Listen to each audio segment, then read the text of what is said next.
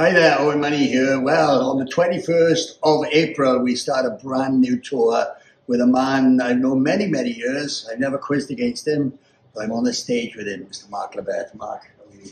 Very well, thank you, Owen. Well, we're fresh from a planning meeting of what we're going to do on this uh, tour. Yes, tell me all about it.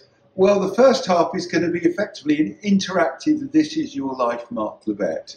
So Owen is going to grill me in his most inimitable style, and uh, the audience can text in questions uh, for me to try and answer. So uh, all the all the important stuff. What's Bradley really like?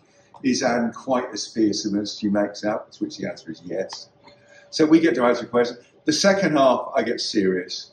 Everyone in the theatre gets a chance to play against me on a multiple choice quiz, and the top few contestants get the chance to come up on stage to play for the I Beat the Beast trophy. What a trophy it is, yeah. It's fantastic, this trophy. And we hope, we hope nobody ever wins it. Yes, I've heard they've only ordered one, and that's on approval.